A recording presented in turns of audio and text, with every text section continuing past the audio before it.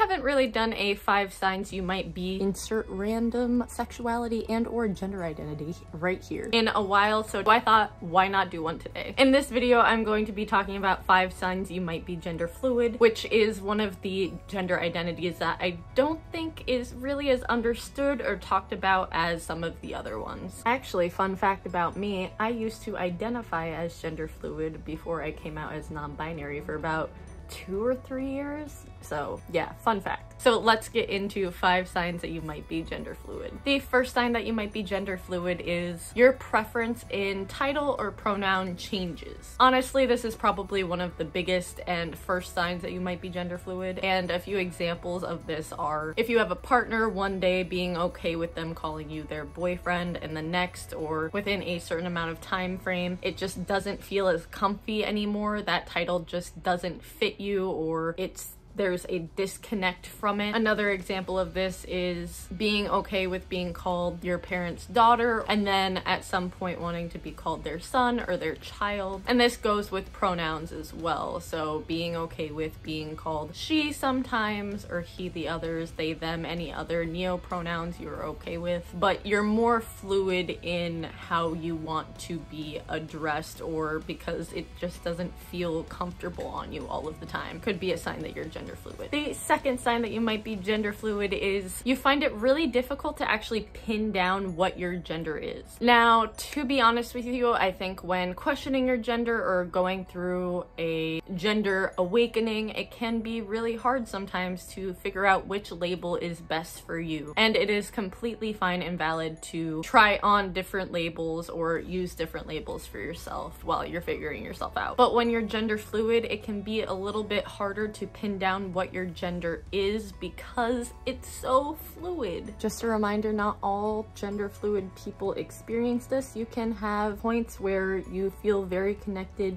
to a certain gender for an extended period of time. This is more of a generalization. I just wanted to put that out there. I know not every single gender fluid person has the experience of, oh, one day I feel like this. Oh, the next day I feel like this. There are gender fluid people who do feel connected for extended periods of time. And then you feel like like you finally figured it out and then it changes again. But despite semi-popular representation in media depicting gender fluid people as always being able to tell what their gender is all of the time, a lot of gender fluid people actually have a hard time putting into words which gender they connect to at a certain time. So it could be a sign that you're gender fluid. The third sign on this list is the idea of being read as only a man or only a woman for the rest of your life makes you really uncomfortable and you don't know why. So imagine your life in one year, in five years, in 10 years. Imagine how you want to look. While this can be really difficult, especially for people in the trans, non-binary, non-cis community because of mental health and trauma that goes along with not being a cis person, it's a really important exercise to be able to do so that you can start to envision what you truly want for yourself and how you want to look and how you want to be perceived by the rest of the world. And if being seen as only a man or only a woman makes you uncomfortable and you feel restricted by this,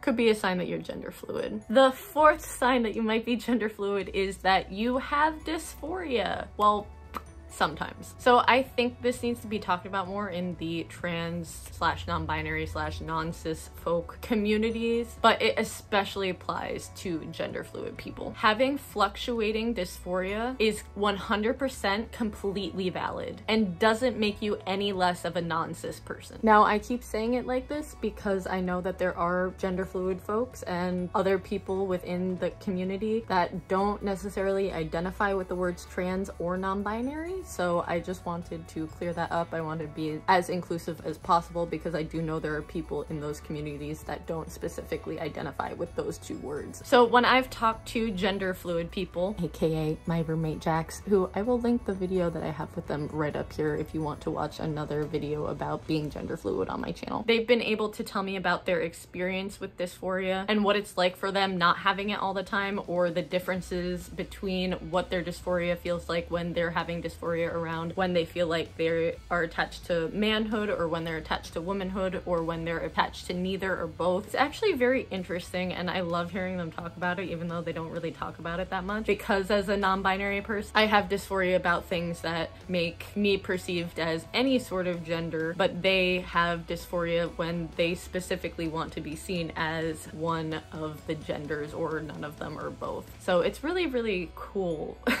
to hear about honestly. But by no means do you need to have dysphoria to be gender fluid. But if you do have it and it fluxes or changes over time and just isn't stagnant towards one binary or the other, could be a sign that you're gender fluid. And the fifth and final sign that you might be gender fluid is you feel amazing being read as multiple genders. Normally, gender fluid people like to switch up their presentation depending on what they're feeling connected to, which gender they're feeling connected to at that specific time. And you get euphoria from being read as the gender that you feel connected to. Honestly, I feel like a lot of people try to put down our types of communities into you have to suffer and you have to hate your body or have to have dysphoria in order to be in the non-cis community and that's not necessarily the case for me. All of this is about what makes the person feel comfortable. And if being seen as gender fluid, multiple genders makes you happy, fucking do it. Honestly, I feel like we really do need to focus more on the euphoria of everything because that's what it should be about, being able to express your most authentic self and being happy and comfortable in your own skin. So yeah, what if that sort of thing makes you euphoric might be gender fluid. I hope you all enjoyed this video. Let me know in the comments down below what helped you figure out that you're gender fluid or were some signs that you were gender fluid. I would love to hear about it and maybe do more videos on gender fluidity. Thank you again for watching this and I'll see you in the next video. Bye!